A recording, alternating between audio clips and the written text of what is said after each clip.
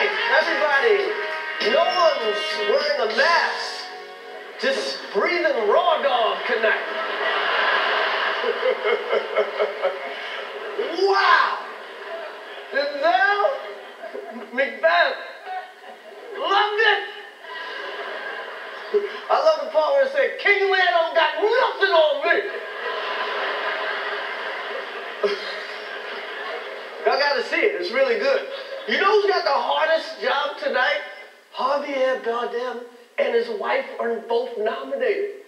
Now, if she loses, he can't win. he is praying that Will Smith wins. Like, please, Lord. Jada, I love you. G.I. Jane 2, can't wait to see it. All right?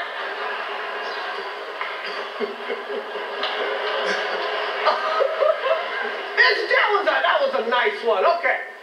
I'm out here. Oh, Richard.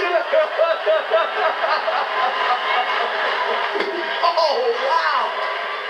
Wow. Will Smith just smacked the shit out of me.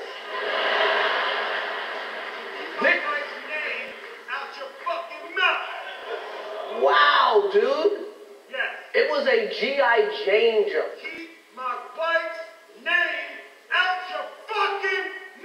I'm going to, okay?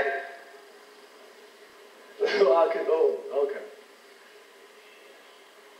That was a greatest night in the history of television. Okay.